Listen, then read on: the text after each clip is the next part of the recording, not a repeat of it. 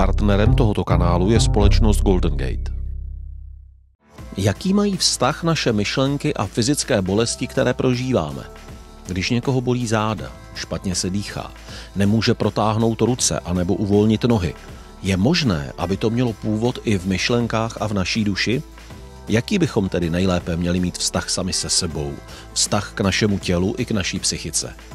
O tom jsem se bavil s fyzioterapeutem Tomášem Rychnovským, expertem na propojení těla a duše.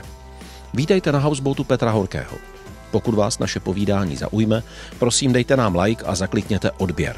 Pomůžete nám ve vyhledávacích algoritmech a zvýšíte naše zobrazení. Navíc vám neutečou další rozhovory.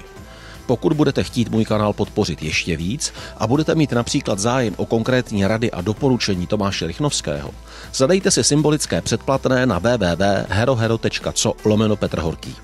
Navíc získáte možnost účastnit se natáčení, doporučovat hosty a mít videa bez reklam i z bonusy. Začíná další talk show Houseboat Petra Horkého a já vás vítám na palubě. Tentokrát se tedy budeme bavit o vztahu bolestí duše a těla a o tom, co se s tím dá dělat. Já jsem si upřímně řečeno myslel, že tu větu budu používat, až budu úplně starý dědek. A to je věta, když se ráno probudíš, ani tě nebolí, znamená to, že jsi mrtvej. A říkávala to moje babička. A já věřím, že se mě to ještě netýká, že jako to, abych se vzbudil a každý den mě něco bolelo, tak to se mi neděje. Ale vím, že až to přijde, tak první, komu budu telefonovat, je můj dnešní host, a to je Tomáš Lichnovský. Ahoj Tomáši. Petře, ahoj, děkuji ti za pozvání. Děkuji, že jsi přišel. Uh, bolest nepatří k životu. Nebo patří? No, patří, no. Jako každodenní? No, tak eh, nechceme jít dlouhodobě, nechceme ji eh, podporovat, chceme dělat všechno pro to, aby nás trápila co nejméně. A je k něčemu? Tak ta, samozřejmě všichni teď se chytají. No tak to je vzkaz o tom, jak žijeme život. tak eh, určitě bychom to mohli pojímat tak, že když tělo zatěžujeme, tak ono nějakým způsobem sílí a to přes tu bolest jde. Takže když se na to koukneme takhle, tak to je v pořádku. Když se na to díváme tak, že, že nás to bolí z toho, že právě nic neděláme, nebo se přetěžujeme, tak to je problém. Mm-hmm. Po covidu, se začátkem války, spousta starostí, během covidu se hromada lidí přestala hýbat, i dětí. Mm. Je to tak, že u tebe tím pádem narostly dlouhé fronty a fyzioterapeuta hledá víc a víc lidí? Ono to je tak, že, že vlastně tu nějakou frontu, řekněme, vnímám jakoby pořád. Mm, a jsou to spíš lidi, kteří vlastně nenajdou pomoc v tom standardním zdravotním systému. Mm-hmm. Takže ty diagnózy jsou jakoby mm, pořád stejný. Je možné, že je tam víc eh, zavzatý takový to, že přichází lidi s bolestí a vnímají, že na tu bolest má vliv i to nejenom, jak se hejbou a že jsou v kanceláři, ale i to, jak přemýšlejí. Takže to možná tam je nastartovaný a asi to je i tou dobou, že přece jenom, řekněme, ta psychosomatika nebo ten styl života, jak my žijeme, tak je tady zmiňovaný čím dál tím víc, takže to se, to se stává. Tím se dostáváme k tomu, že ty se zabýváš tím, jak je tedy styl života člověka, styl jeho přemýšlení, propojený s jeho tělem a případně s jeho bolestmi. Mm, přesně tak. Tedy ale co se týká postury nebo jako co se týká eh, kostry, že asi neřešíš bolesti žlučníků. A... To ne, jenom toho pohybového ústrojí. Dám příklad. Dneska jsem měl pacienta, přijel z, z Liberce a říká, já tady řeším rok a půl eh, takovým tím standardním způsobem masáž nebo um, léky, bo, bolesti tady dle šíje a v horní páteři. A byl na, na, jakoby na, viditelně na, nahrbený člověk, mm-hmm. takový stažený. A já mu říkám, já to dáme do kupy, když něco zvládneme změnit. On, on tady měl zablokovaný žebra, vzadu, vpředu. Dali jsme si cvičení na to, aby se naučil tu střední páteř narovnat, ať ta páteř se narovnává. A já jsem se pak ptal, jako vnímáte nějaký stres? A ještě na tom lehátku mi říkal, no tak takový všeobecný stres. A pak jsme skončili a on vstal a říkali jsme si, co dál a kdy by mohl přijít znova a tak. A já jsem to nějakým způsobem načnul znova to téma, jakoby té psychiky. A on říká, No víte, já jsem byl v covidu zavřený a dělám práci, která je mm, v tom covidu dostala právě hodně na zadek, že nebyly ty společenské akce a tak. A on říká, no a já jsem si tam představoval, jak vlastně se na, na mě asi dívají děti. Uh-huh. Já mu říkal, aha, takže jste měl představu, že jakoby selháváte. A on přesně tak. A dali jsme diskuzi na tohle. A jak, jak on měl v sobě strašně moc strach z toho, aby neselhal. Uh-huh, a přes uh-huh. tohle jsme se zpátky do, eh, vlastně dostali k tomu držení, který on má jo. spoustu let. Jo. Takže, uh-huh. takže je to nádherný, že když já se dotknu toho, toho těla, s tím se dá dělat něco velmi jednoduše, řekněme, protože to je taková ta skládačka, která když se správně poskládá, případně teda zahojí, což to hojení může trvat um, různě dlouho, ať den nebo třeba rok. Záleží na té diagnoze. Ale pak je tam to řízení a tam je krásný, že to řízení ruší, když my ztratíme ten, řekněme, milý ne, nebo přívětivý nebo laskavý vztah k sobě. A to je vždycky spojený s bojem a s tím, že my, my vlastně tu svoji pohodu si sami rušíme tím, jak vnímáme náš svět a to tělo na to hned reaguje. To je přesně to, o čem se chci dneska bavit. Mm. Hromada lidí se hádá na internetu, píše o tom, jak jsou lidi na sebe zlí. A ono to začíná o tom, jak jsme sami k sobě. Mm. Jak, jako, jak přistupují k sobě, ke svému tělu, ke svým pocitům, ke své bolesti, ke svému pocitu, že mám právo nějak žít, nebo že bych mohl nějak žít. A to jsou věci, které mohou směřovat lidi právě k tobě a do tvých rukou. Mm. Ty jsi mm. teď ve spojení s tím svým pacientem řekl, uh, jak, pomoz mi, jestli si vzpomeneš, jaká byla ta formulace, že on sobě nedovolil mít tu pohodu, nebo že on ne... No, on měl strach z toho, že jeho děti si budou myslet, že on v té své roli táty, toho živitele, selže. To, to bylo to hlavní moto té psychosomatiky. A na, na to se vlastně mm, nabalovalo to, že on je ve stresu, když na akci nějakou jede, teď e, si myslí, že, že tam dojede jako pozdě nestihne to, že to bude průser uh-huh. a k tomu se přidává to tělo.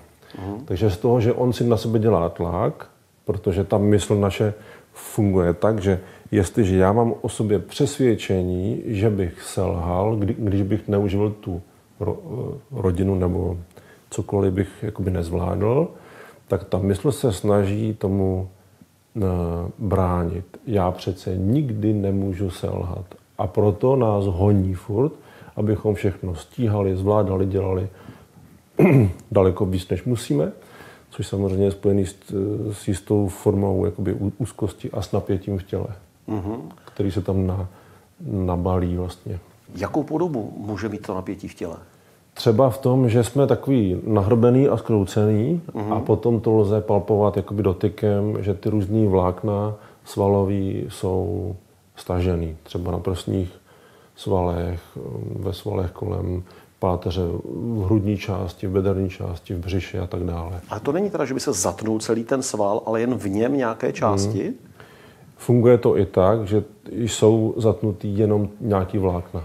Fakt. Hmm. A ty sáhneš na ten sval a ucítíš, že v něm je napětí, že on není úplně uvolněný. Buď to, anebo třeba prsní sval, který je stažený, má často spojitost eh, s blokádou v žebru a tento komplex žebrosval má vliv na, na pohyb ramene. Třeba, že já už na pohyb ramene té ruky rozpoznám, který to žebro je zablokovaný a, a podle toho se orientuju. Takže někdo si sundává kabát a ty už si říká, a tam nemůže pořádně hýbat, bolí ho žebra, tak to by mohl mít stažený tam a tam a už se ptáš, jak se vám žije, jak se už máte. to jede. Fakt? Je to takhle? No, tak může to tak být. Jako, Někdy je to fakt tak, že to rozpoznáš dost rychle. No. Mm. Jaký bychom tady měli mít přístup k sobě? Je to komplexní téma, to vím. Mm. Tak vyber nějaký segment, od kterého začneme. Mně se strašně líbí to, když se dívá, díváme na, na kojence třeba. 6-8 měsíční děťátko a teď vonový. Kdy má usnout, vono papá něco dobrýho, ale nepřejí se, Uh-huh, Ono ví, kdy má být s maminkou, s tatínkem, ono ví, kdy chce být samo, dá to najevo. Ono ví, že se mu ně, ně, něco nelíbí, dá to stejně tak najevo. A vlastně furt um, přesto všechno, že i tu nepříjemnost nějakou dá najevo, ta, ta, ta, takový je vlastně v pohodě. Uh-huh, Ono si, ono si uh, nedává vinu za to, že se ohradilo kvůli tomu, že se ho nějak špatně vzal do ruky, nebo nedává ti vinu za to, že jsi ho eh, že jsi mu dal třeba na, na nohu studenou vodu. No třeba ti dá najevo, že to nechce, ale potom je v pohodě a ne, nedrží v sobě ten špatný mm-hmm. pocit k tobě. A my se tím, že máme nějakou výchovu, naučíme toto všechno, ty křivdy a tak dále a ty viny v sobě nechávat. Mm-hmm. A tam to všechno jakoby začíná. Vlastně bereme jako ctnost, to je dobrý člověk, on nemyslí na sebe, on mm. myslí na jiné. Mm. To je vlastně ctnost, to je vlastně jako oceňovaná vlastnost. No. A, a vedle toho máme jenom, to je sobec, ten myslí jenom na sebe. A mezi tím nemáme nic, tam proto nemáme slovo. Mm. Samozřejmě je to jeden styl toho fungování a vždycky, když se k tomu s pacientem nebo s pacientkama, protože to je taková doména že, toho že, ženského pečujícího mm-hmm. prostředí nebo toho, toho stylu, tak se dostaneme na, na to, že se jim jich ptám, jestli to dělají rády. Mm-hmm. Jestli mají vnitřní radost z toho, že někomu pomůžou nebo něco za někoho dělají, nebo to spíš dělají z motivu jiného, a to je třeba ten, aby ne, nevznikl konflikt. Mm-hmm. Aby se na mě nikdo jakoby nezlobil, aby mě jakoby, um, ne, nepomluvil nebo něco takového, tak já to radši udělám, aby teda byl klid, ale to ne, není ta radost. Spíš mm-hmm. to je mhm. ta povinnost a tu uh, žena dost negativně vnímá, že se jí teda kazí nálada postupně a samozřejmě potom na to nasedne to zdraví, že se nějakým způsobem pokazí to zdraví. Ať to je třeba vznik bolesti v těle, anebo extrém. Neotěhotnění, cysta vaječník, cysta v prsu, až teda třeba rakovina. Uhum, uhum. Takže je to o tom první věc, první krok, být schopen minimálně sám ve svém vnitřním dialogu si pojmenovat, co chci, co nechci, hmm. kolik čeho chci, kolik čeho nechci a z čeho mám radost a z čeho nemám radost a pokud z toho nemám radost, tak proč to dělám. Takový to vnitřní Určitě. dialog? No a je tam v tom, co říkáš, vlastně strašně důležitý být autentický. Mm-hmm. Takže když já si řeknu, eh, nechci pomáhat, mm-hmm což jako lze. Že jo? Ale společensky to je tabu. No. Přece kdo by snad nechtěl někomu pomoci. Jasně, jasně. Tak je dobrý si ale říct, no jo, tak, to, ta, tak extrém je ten, že já nepomůžu, ale vlastně v tom lidství je i ta pomoc. Že jo? A proč já teda jsem ztratil tu e, touhu nebo chuť někomu teda pomoct? A většinou to je mechanismus obrany, mm-hmm aby, aby mě už nezneužívali, a abych vlastně já byl teda v pohodě, aby mě nezranili, tak já radši všechny odvrhnu, ať jsem teda v pohodě. No, takže to, co jsi říkal, že najít ten důvod, proč já nejsem schopen, ochoten někomu třeba pomoct, nebo proč nejsem ochoten cokoliv, cokoliv dalšího, co v tom lidství je normální, tak je fajn si myslím takhle jako rozebrat v sobě. Vlastně první věc je vůbec si to přiznat. Hmm. Protože fakt si myslím, že to tabu společenské je velmi ostré. Jako, aby si prostě manželka, matka řekla, ale já nechci už doma vařit, smažit, prát, zašívat, uklízet, nechci. Hmm. A vedle toho, aby si řekla, ale já přece, ale taky nechci být špatná matka, hmm. nechci být špatná manželka. A zase máme slova pro ty dva extrémy hmm. a nemáme slova pro to mezi tak do téhle neprobádané, nepojmenované krajiny, češtinou nepojmenované krajiny se vydat a snažit se v tom zorientovat? Já myslím, že třeba ten, tento příklad je dobrý, mm-hmm. protože se stává, že ženy si často stěžují na to, že ta domácnost je vlastně pouze na nich. Že chlap je naučený přijít z práce a myslí si, že ta žena se tam doma flákala, nebo teda v práci se flákala a tím pádem on má to právo nedělat nic. Mm-hmm. Což tak není, on, on tam je a používá všechno, co tam je. A uh, myslím si, že v tom správným, uh, v té svojí roli by měl být příkladem toho, že prostě ty děti a i on se taky podílí na tom, jak ta domácnost funguje a že teda ta, ta žena vnímá, že tam na to není sama a tím pádem nestrácí chuť to ráda dělat. Mm-hmm.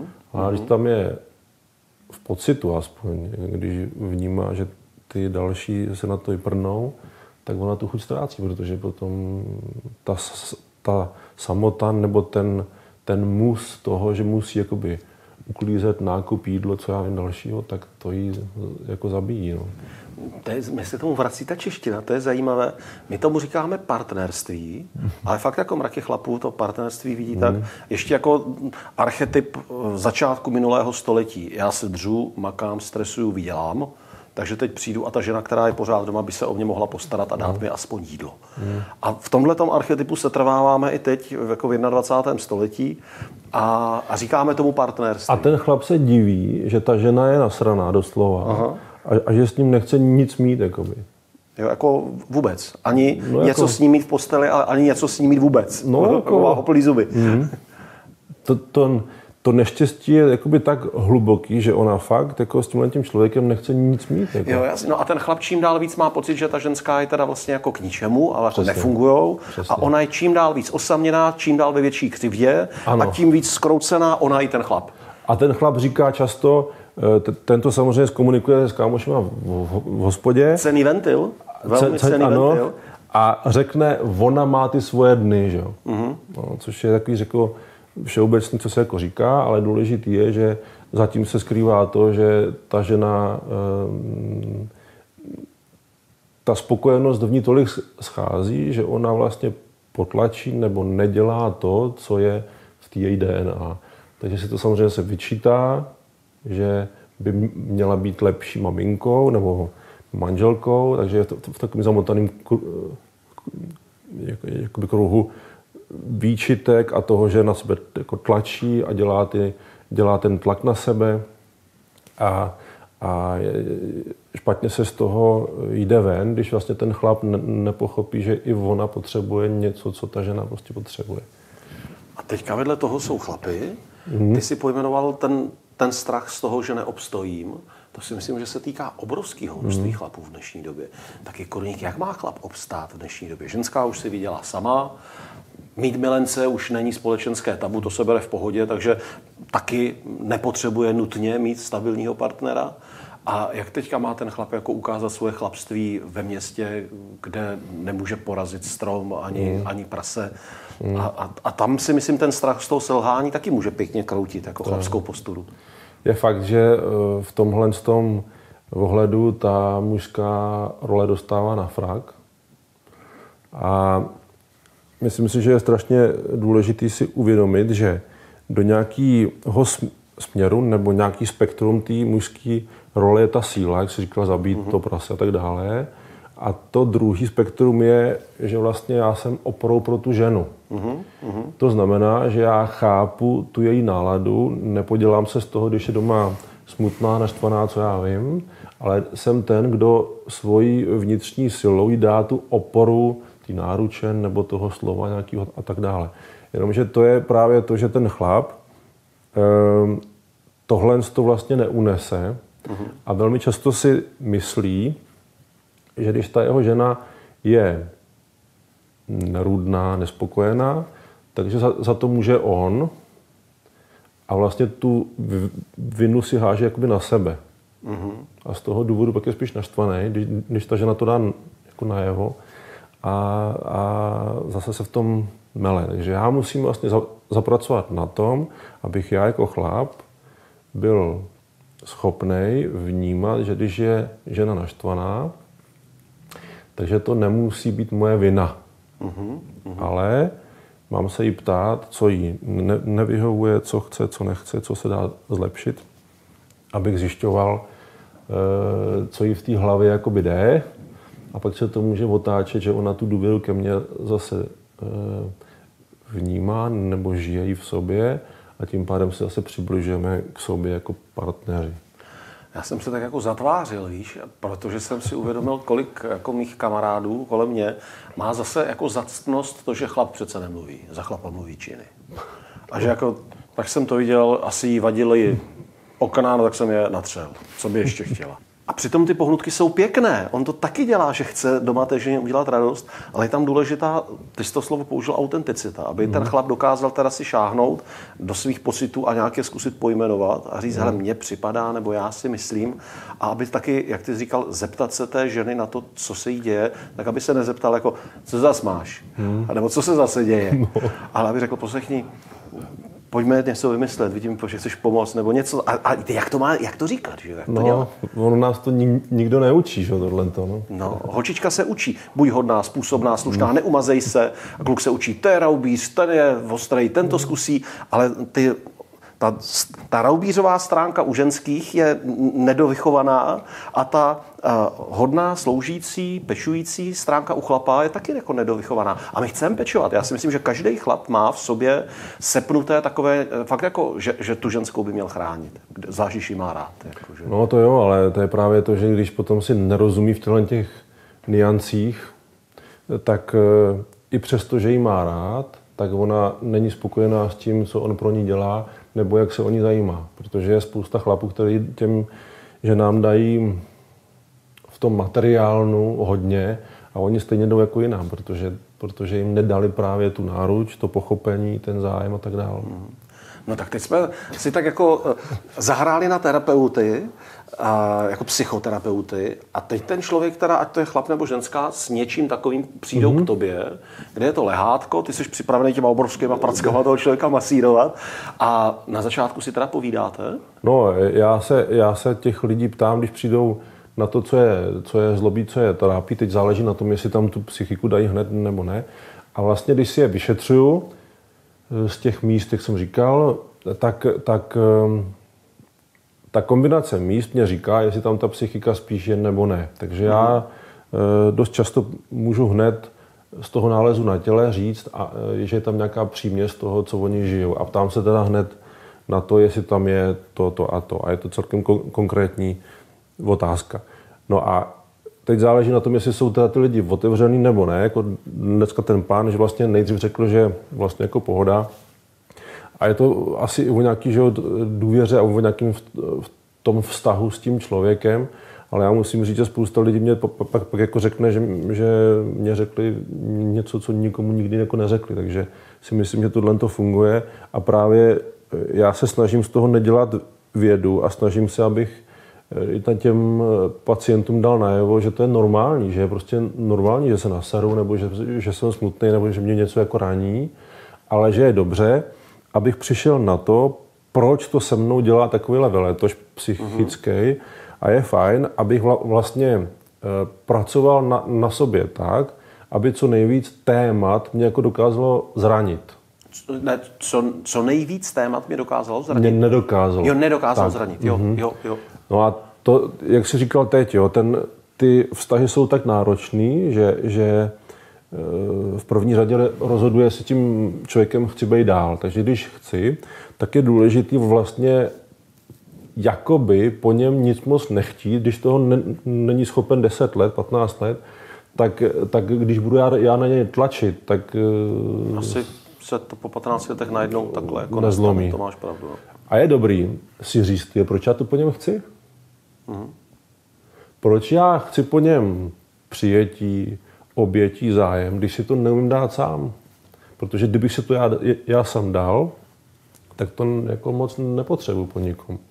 Jasně v, tý, v tom vztahu partnerským a v té rodině nějaká spolupráce být musí, ale já znám chlapy, kteří chtějí po ženách to, aby jim vyjádřili lásku, aby jim dali najevo, že ty ženy jakoby mají rádi a co pro ně jako znamenají. Přitom ta žena mě říká, no jo, ale on dělá takové věci, že já mu ne, nevěřím. Já nejsem s ním jako v bezpečí, nebo nejsem mm. s ním spokojená.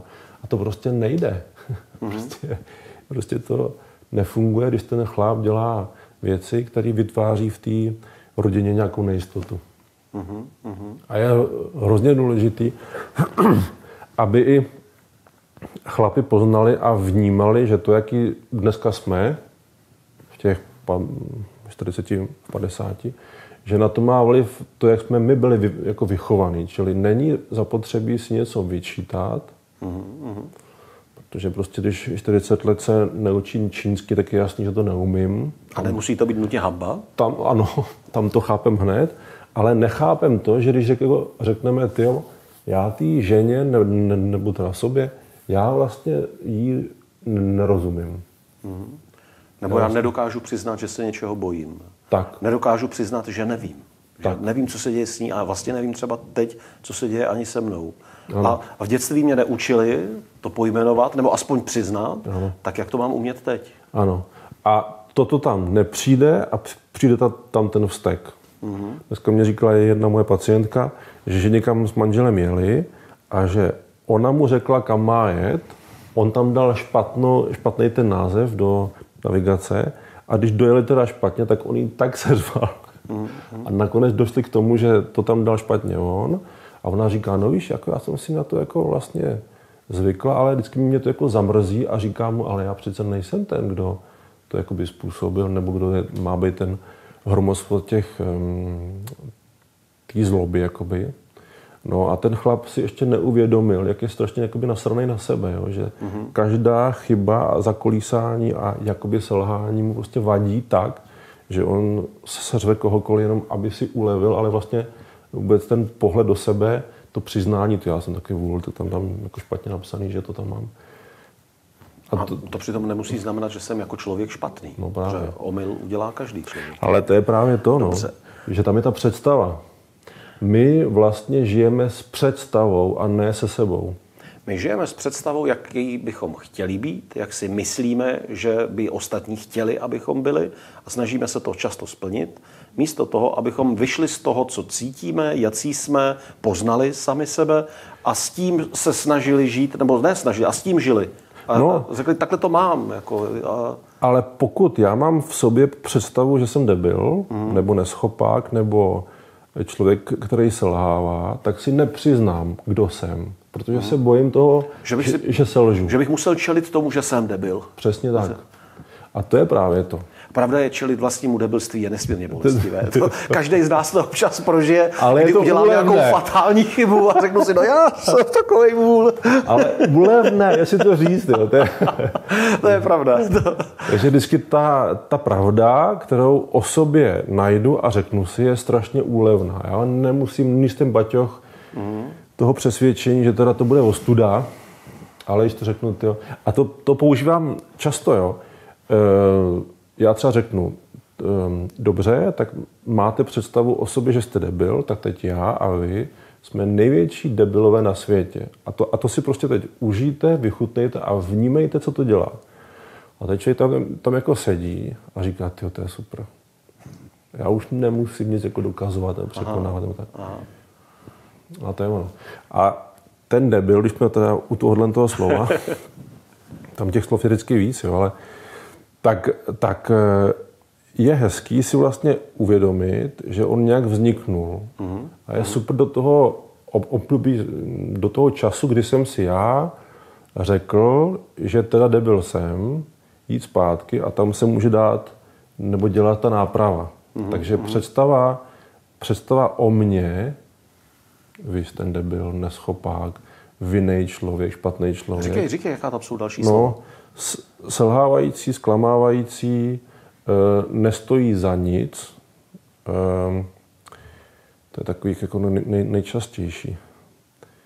Eh, vykořeněný, mm-hmm. bezprecedentní, nekompetentní, idiot a tak dále. Mm-hmm. Tak když tohle to v sobě mám, tak prostě je hrozně obtížný kor, kor pro chlapy si to přiznat ale tam ta cesta jakoby začíná. Mm-hmm. Já prostě musím říct, já se fakt cítím, když se mě ptáš, tak ve mně se otvírá téma, že jsem úplný debil a to Jasně. je hrozně důležité si tam říct. Jo, a, a pak se vrátit do té doby, od kdy já si to vlastně říkám, od kdy tak. já mám ten pocit. A to už pak možná ledas, kdy může být fakt i práce pro terapeuta. Jako je, je, na, no. na několik třeba sezení a zase není to vůbec žádná hamba. Hmm. To může být z dětství, to může být křivdící dědeček, babička, někdo z rodičů, kdokoliv. A najednou se zjistí, že tam to vzniklo hmm. a to se pak dá často vypnout. Jako. No, když člověk, když člověk chce tak stoprocentně. A je to hezký si zase uvědomit já jako dítě nemůžu za to, že se do mě nahrála představa, že jsem nebyl.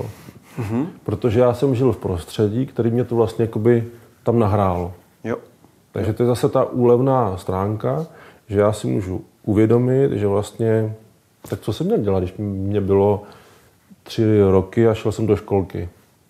A ty tam bylo prostředí, ty spolužáci, učitelky nějaký, byl, byl jsem tam sám, co já vím, že jo, tak a teď ti dospělí, kteří v té době jsou největší, nejsilnější, nejchytřejší, mm. všechno řídí, mě řeknou, že jsem debil. Mm. Tak asi mm. mají pravdu. Nebo že, že jsem horší než mánička, že? Jasně, jasně. Tak, tak je, to, je to úlevná záležitost tam dojít, ono to bolí často, ale vždycky, když tam jdu s někým nebo i sám, tak prostě ta úleva jako přichází a já vlastně nacházím smíření s tím, s tím kdo jsem. Jo. Takže to přijetí sama to sebe věc. Je prostě nejkrásnější věc na světě a taky je jedna z nejtěžších. No.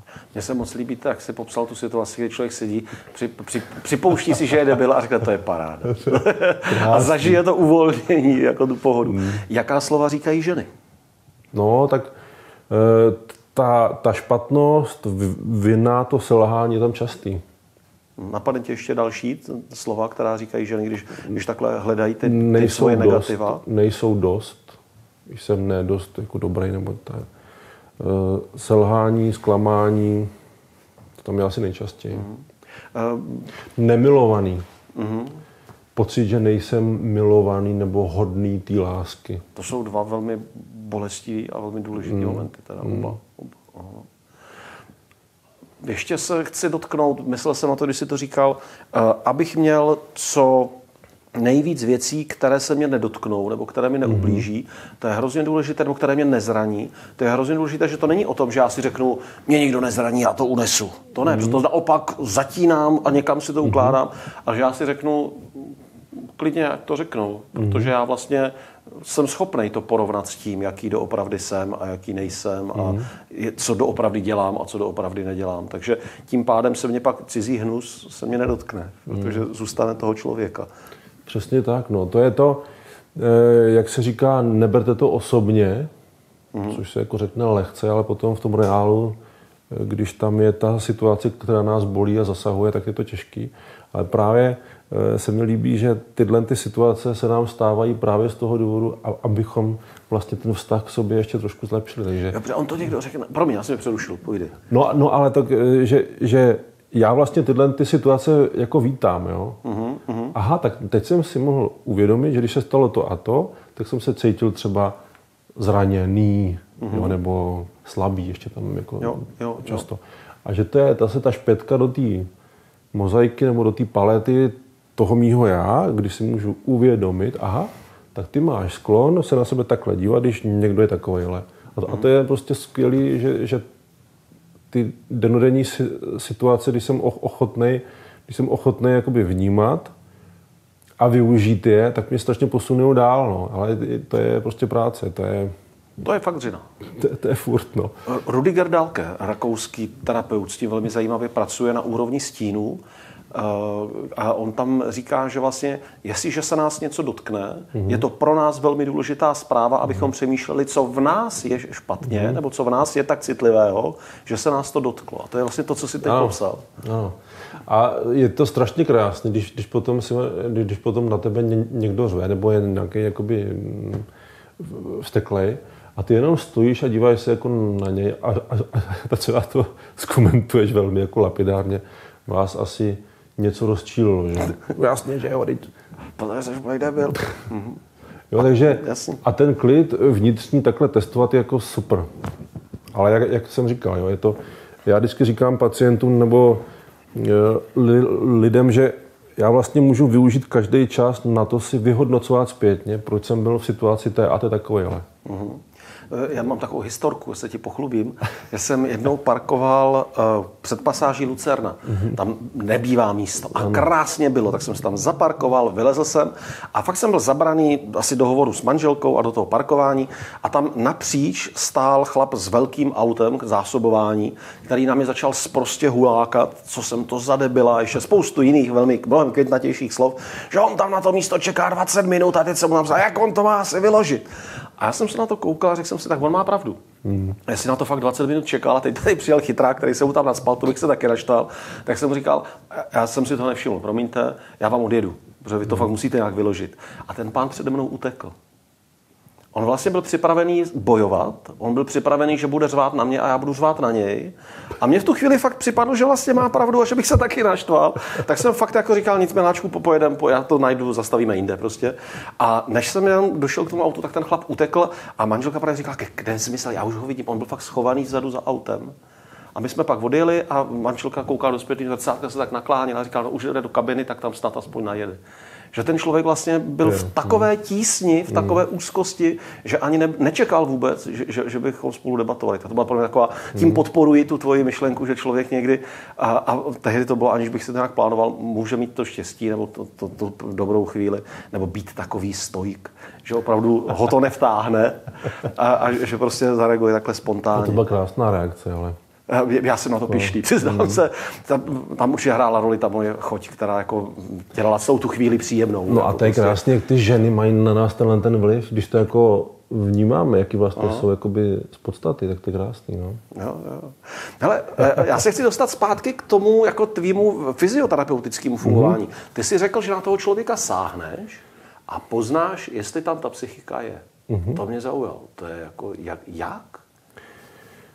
No, je to o distribuci napětí a nějakých blokád žeber a páteře. Mm-hmm. Případně o, o tom celém držení, který když je nahrbený, tak prostě tam vždycky, nebo skoro vždycky vlastně je. No a pak se to, eh, pak ty blokády a staženiny se vlastně organizují stranově, napravo, nalevo, víc třeba. No a podle toho poznáš taky, jestli ten člověk spíš bojuje v životě s něčím, anebo jestli mu něco spíš jakoby schází. A jak to je? Na, napravo spíše ten boj a nalevo je tam to, že člověk vnímá, že mu chybí něco do té spokojenosti, do toho naplnění, do toho štěstí. Mm-hmm. Takže to je opravdu, protože tam je jedna věc, my spolu fakt vedeme troufnu si říct jako psychologickou debatu, nebo minimálně mm. jako velkou výpravu do lidské duše jsme zahájili. Ona takhle přímo věcně na, na dotek, na pocit samozřejmě tvých zkušených, vyškolených rukou a, a tvého fungování, se to tam ta psychika dá prostě nahmatat, když mm-hmm. to mhm. takhle přeženu mm-hmm. úplně. Mm-hmm. Jo, jo, je to tak. No. Je to, já jsem se to taky vlastně na škole neučil. Tam jsem byl eh, vytrénovaný do té péče, jakoby ty, ty západní stran toho těla a tak dále, tak to bylo super, ale potom vlastně jsem vnímal, že, spolu, že nějaká část pacientů, i když si myslím, že léčím stejně dobře jako tam ty, kteří se zahojili, tak tyhle ty ne. A, a podle svých eh, zkušeností na sobě, které se týkaly psychosomatiky, jsem vlastně tyhle ty principy začal vnímat a potom si je zkoušet na nich.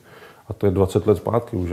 A eh, pak jsem přes i východní medicínu si si to spojil ještě víc jakoby s tím, co je tady dáno pět tisíc let zpátky, s poznatky, co oni eh, měli v Indii, v Číně a tak dál.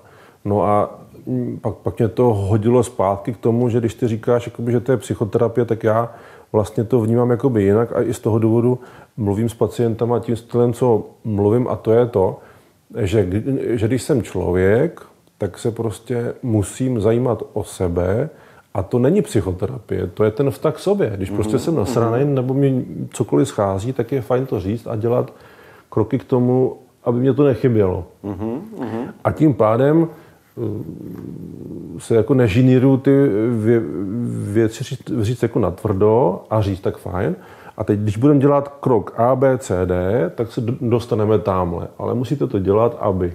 Mm-hmm. No a ty lidi, když tam no, jakože často, jo, tak, tak na, najednou se diví, že ten stav, který řešili spoustu měsíců a let, se najednou během týdne, měsíce se prostě úplně jakoby zázračně spraví, ale je to jenom třeba o tom, že lépe cvičí, lépe se naučí dýchat, že se zbavují strachu, že se zbavují nějakého nízkého sebevědomí a tak dále. Mm-hmm. Takže to je prostě krásný. To je, a e, je to vlastně úplně jakoby jiná v oblasti medicíny versus ty léky, obstřiky, kortigoidy a tak dále, že jo, který tam taky mají to místo v tom léčení, ale spoustukrát nezaberou. Uh-huh, uh-huh. A potom přicházíme s tímhle s tím a ono to najednou prostě funguje a, a taky je asi do, dobrý říct, že s nějakou um, skupinou bolestí se nedá nic dělat třeba jako měsíce, což třeba je jako rameno, který je velmi citlivý na přetížení, jak díky tělesnému zatížení, tak, tak psychickému, tak to je třeba téma, který jako řešíš tři čtvrtě roku. Stane se ti, že přijde pacient, pacientka a ty řekneš, jo, to musíte jinam. Tohle to už já tady nevyřeším, to vás pošlu. Většinou je to u e, bolestí ne, nebo diagnóz s degenerativní M základem. Takže mm-hmm. kyčel, e, i nějaký ten vý, výřez plotinky, který se nehejbe v tom vývoji. Nebo když má někdo vý, výrůstky na páteři, tak to třeba jako tam takovýhle e, diagnózy jsou. No. Mm-hmm. Ty jsi říkal, že, e, že to je prostě propojené, že to nejde oddělit. To znamená, to fakt jako začíná u toho vztahu sám k sobě. Mm. I k tomu, jestli se o to tělo starám, Přesně. o všech stránkách, mm. i k tomu, jestli se o tu duši starám. Já myslím, že jo, no, protože když se dívám na ty děti, tak oni, i když mají něco dobrýho na to jídlo, tak prostě, i když se třeba přejí, tak potom další den jí míň třeba. Mm. Což jako tady často je naopak, že my dospělí tím jídlem zaháníme ty ten neklid v sobě z toho ži, eh, stylu žití tady. No a jakoby tu záklopku nemáme, mm-hmm. protože potřebujeme uhasit tu ži, ži, žízeň po tom štěstí nebo nějakým naplnění. No a nehasíme to tím vztahem k sobě anebo s někým jiným. Nehasíme to třeba blízkostí, dotekem, popovídáním a tak dále, ale tímhle s tím mm-hmm. kouřením, mm, tím jídlem alkoholem a tak dále. No. Hmm. Takže, jak říká paní Hogenová, ten rauš, který nás dostane do té spokojenosti a on na tu chvíli jakoby zafunguje, tak on se ale stává tím návykem, který není správný. No. A potom si spousta lidí stěžuje, my jsme se odcizili, my už nejsme manželé, my jsme jakoby sourozenci, kteří hmm. spolu vlastně nic jako společného nemají až na ten majetek s dětma a jinak jako vlastně nic. A nějaký produkční starosti kolem domácnosti. Jako. Mm. To je ono. A začíná to přitom u mě, mm. ne u té partnerky, ale u mě. Mm. Já musím zůstat sobě blízko. Mm. Já musím, jak si říkal to šestiměsíční miminko, vědět, chci, nechci, bolí, nebolí, vadí, nevadí. Přesně tak. A, a když tam tu autenticitu mám a řeknu si to a přiznám si to, tak, tak je to v pohodě a můžu s tím něco dělat. A když ne, zavřu se nepřiznám to, tak... A vždycky, když já jsem ne, ne, jakoby vnitřně nespokojený, tak není možný, abych pomáhal vztahu s někým jiným. Nemám jak. To je jasný, že jo. Mm-hmm. Takže zase se musím vrátit, jak jsi říkala, zpátky a říct si, ty, proč já jsem nasraný na, na ženu, když chce něco po mně, jakože cokoliv. Mm-hmm. Jo, aha, já nejsem spokojený tamhle v tom, já nedělám to, co chci, nemám čas na sebe a proto jsem naštvaný, když ona mě zatěžuje ještě víc tím tím, no, takže to je... A jenom musím k tomu dodat, že tady je velice důležité, že toto je jakoby teprve to zjištění mm. a to řešení pak teprve přichází. Tam pak teprve přichází to partnerství. To není jako, mm. já se cítím špatně, takže ty teď musíš. Ne, ne, ne. Mm. Já se cítím špatně, pojďme to spolu zkusit vyřešit. Pojďme hledat, co s tím můžeme oba dělat. Jako, ano. A ch- případně chceme nebo nechceme oba mm. dělat. A to je další veliká věda. To je, Teď myslíš vztah muž-žena? Ano, no. třeba to právě to partnerství, jak jsi říkal, jako naštvaný na manželku, tak to, to tam No právě... a já bych se ještě vrátil v oku zpátky, Aha. kdy já musím poznat, jestli já sám k sobě chci tu změnu u sebe, protože mm spousta lidí nechce. No, to je dřina. Právě. To se člověk vaří ve vlastní šťávě. Tak. To jako... A když já jakoby nechci, tak ten posun dál tam není. A je tam jenom to rácio, že řeším ty věci kolem aut a domu a tak dále, ale není tam to si říct, hele, já bych ve svém životě a ve vztahu k sobě mohl zlepšit to a to. A ten posun k té ženě tam potom jako není. A tím pádem prostě spousta lidí ten blízký vztah muž, žena prostě potom nemají a pak se stane ten neracionální krok, že v 50 žena, která má všechno, tak najednou zdrhne někam jinam. On to je zdánlivě neracionální Aha. krok, ale ono to může být vlastně eh, velká naděje a dobrodružná expedice dát tomu životu zpátky nějaký, nějaký příběh, nějaký hodnoty. Je to do, dobrodružné často. A... To, to je vždycky, si myslím. ono i chlapi, že jo, takhle v 50, co si budeme povídat, jako jo, chlapi v 50. Jo. jo, je to na obě strany, jo, ale, ale, ale jak je krásný si vlastně uvědomit, jak, jak ty povinnosti a ty kroky, jakože ta hypotéka, bydlení, společný nějaký, jak to jakoby jo, jako je to fajn, ale jak to může být prch, pr, prchavý, že za těch 20 let si říkám, jo, já nejsem jako spokojený stejně, já tady žiju prázdnotu a... Mm-hmm. Takže... Jo, za to už jsme se dostali vlastně i k dalšímu obrovskému tématu a to je vědomí nějakého společenského tlaku, hmm. ve kterém chceme prokázat kvalitu, schopnost, úspěch, obstát, eh, tlak od rodiny, od rodičů, ožeň se, vdej se, děti, rodina, snad byste měli někde bydlet a ať, ať se všichni dobře učí, fungují. A teď tyhle ty všechny tlaky a povinnosti, to pak není divu, že člověk je zhrbený, mm. že tohle to všechno unést není legrace. A pak se to teda povede třeba i splnit a člověk konečně, když to houští těch všech pokynů a úkolů rozhrne, tak tam uvidí nic. Hmm. Řekne si, a to nic, to je můj život. To je výborný. Tak to nechci. A co teď? No, tak uh zase se musím vrátit a říct si, tyjo, jak já jsem vlastně žil a co se kde ve mně jakoby zlomilo nebo změnilo, že jsem zapomněl na sebe. Mm-hmm. Jo, aha, to bylo tím, že jsem byl vychovaný, směrovaný, že musím dělat toto a to a to jsem vlastně nebyl zevnitř já. Mm-hmm. A když se tam vrátím a dokážu si to eh, zpětně dávat, tak je to super a spousta lidí to, to, to, to, to takhle má. A já jsem teď měl u sebe v pondělí jednoho člověka, který je velmi úspěšný podnikání a sbírá auta. Mm-hmm. Má jich nějakou, nějaký desítky, jich má a on říká, víte, já to strašně ty auta miluju a miluju ty peníze.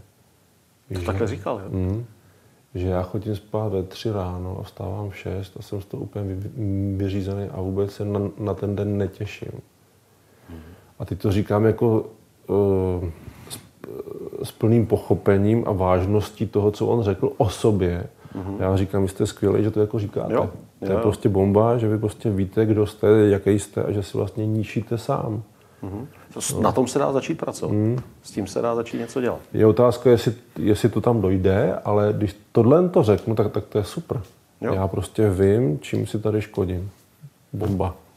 To samé ještě určitě třeba dodat, že když si člověk třeba v těch 50 řekne, že teda splnil všechny ty úkoly, ale že vlastně žije život, který ho nebaví, hmm. tak to, že se oženil, má děti, stará se o ně, vybudoval firmu, to nejsou chyby. Ano. To, jako to je důležité taky ano. připomenout, to není, že ten život zkazil. Přesně, Jenom splnil spoustu úkolů, které nenaplnili jeho které jsou určitě důležité, určitě je dobře, že to udělal, ale ne, nestačí to prostě samo o sobě. To je, jak jsi říkal před chvilkou, že jo, těch věcí na splnění je x, nejsou špatně a jsou dů, jakoby důležitý. A je třeba si vybrat, nezbytný. které z nich bych jako chtěl. Že? Ano, ale eh, a tam bude asi čím dál tím větší tlak. Já musím vnímat tu balanci, tu proporci toho, eh, co mám dělat a eh, co vlastně směřuje k tomu, že já jsem opravdu spokojený. Mm-hmm. A tam si myslím, že je strašně důležitý se prostě ptát. Sebe. Je, mm, jestli je dobře, že já jsem práci 14 hodin, máme z toho fajn dovolenou a auto a dům, tak to jako je hezký, ale jestli to je fajn dělat 10 let, nebo jenom 3 roky, nebo... Mm-hmm. A druhá věc je vlastně ta, ta další, že e, já tím svým příkladem učím děti, takže to je další takový, jako kde je fajn se ptát, jestli tohle to vlastně jim chci tady předat. No. To jsou výborný témata. Je jako dobrý, no. A mně se přitom líbí, uh, mě tahle témata velmi baví. Já jako rád o tom mluvím jako s dalšími hosty, s Anou Hogerovou, kterou si zmiňoval, s Norou Láškovou. Teďka budeme točit s Honzou Vojtkem, tak to se těším mm-hmm. taky na, na, na jako zajímavé debaty. Ale v tvé práci se mi líbí, že se to spojuje i s tím prostě no. kontaktem s tím fyzičným. No tak Honza třeba přišel s tím, že ho bolí záda a já jsem mu jako by nastřelil jenom a on, jo, já to vím.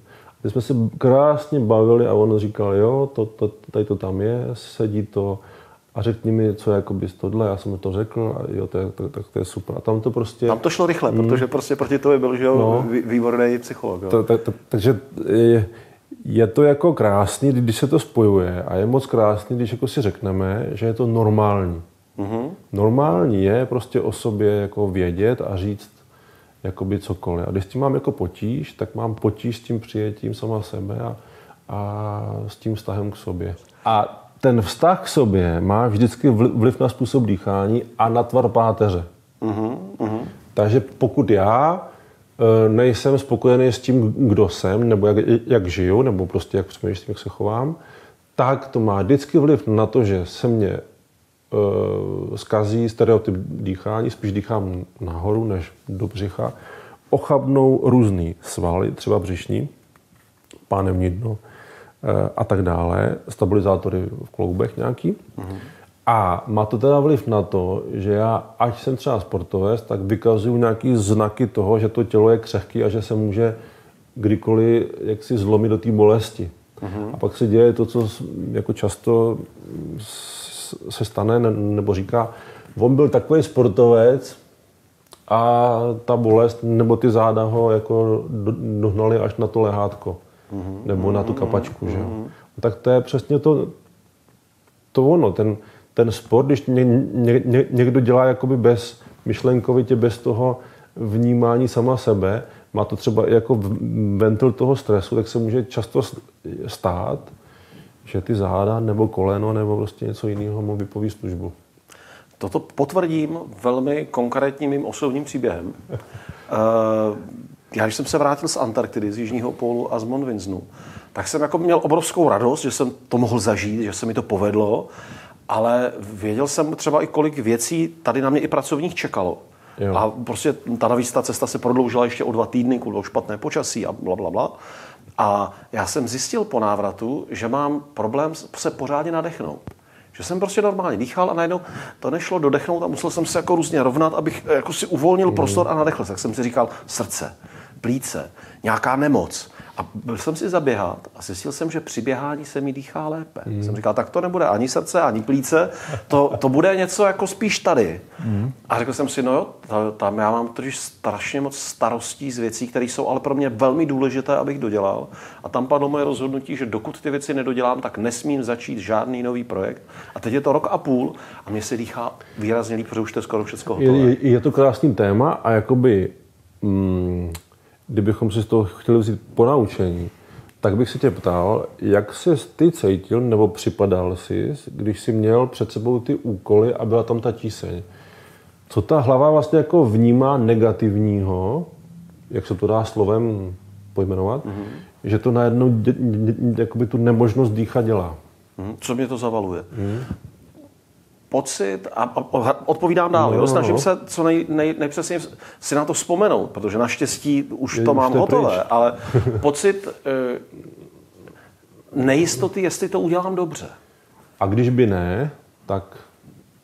Takže něco důležitého neudělám. To bylo, já jsem dokončoval film, dokončoval jsem doktorské studium a do, dopisoval jsem knihu a dodělával jsem seriál ještě. Tak. A všechno pro mě byly osobně velmi důležité a chtěné projekty, ale bylo důležité pro mě tedy, abych je i dodělal a abych v nich neselhal.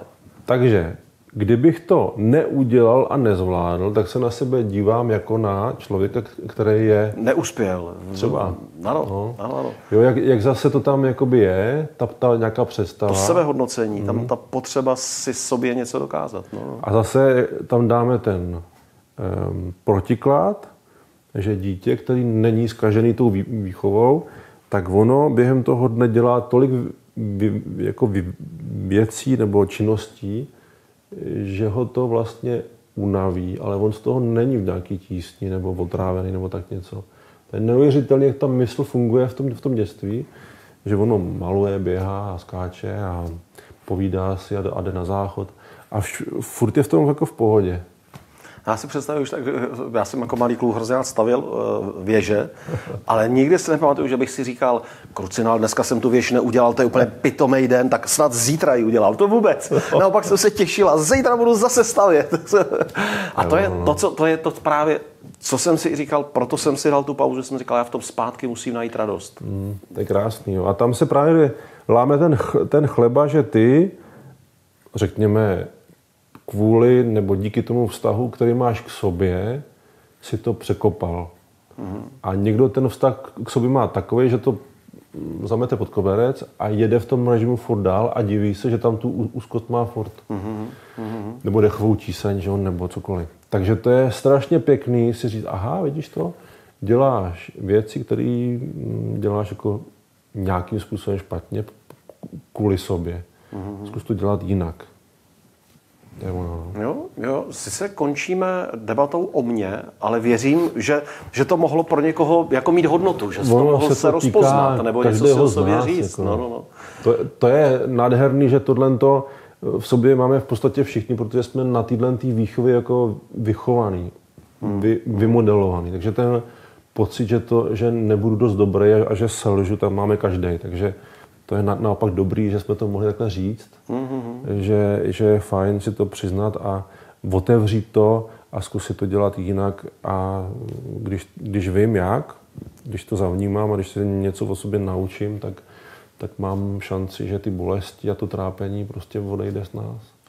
Děkuji moc i za tu podporu na konci tady. Uh, tvůj web www. Tomasrychnovsky.cz to je tam se dočtu víc, tam máš i pokud nějaké kurzy, to mě tam všechno navede?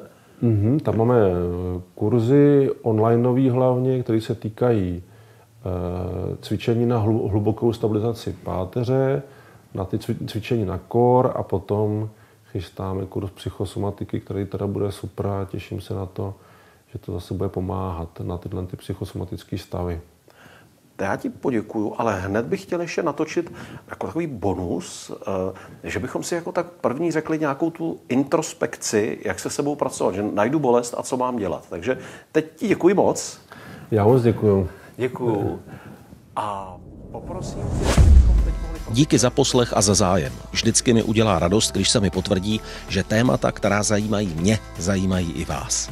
Pokud máte zájem i o bonusovou část s konkrétními doporučeními Tomáše Rychnovského, klikněte na www.herohero.co lomeno Petr Horký a přidejte se k předplatitelům. Každé video má vždycky něco navíc. Každopádně za týden nashledanou váš Petr Horký. Partnerem tohoto kanálu je společnost Golden Gate.